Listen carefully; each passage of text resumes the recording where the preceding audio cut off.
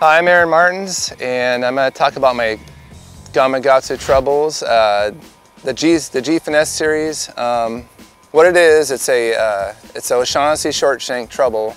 I got Engel Ear in 2013. That's kind of when I started really using them when I got them, and the amount of fish losses I had that year were just the least I've ever had in my entire career, which is a lot to say. I've been fishing and catching a lot of fish on crankbaits and stuff, top waters.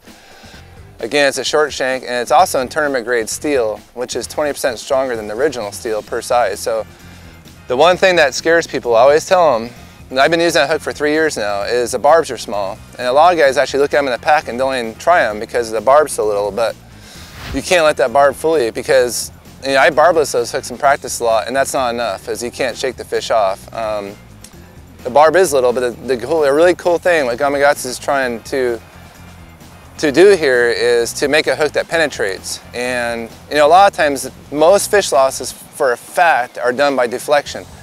The hook doesn't go past the barb. So you may hit a fish in the side of the face, you may hit him in the mouth, he may grab your bait. But what happens is that hook sticks up to the barb and that's it. It won't go through and the fish comes up and shakes real hard and throws the bait. That is by far where most fishes are lost.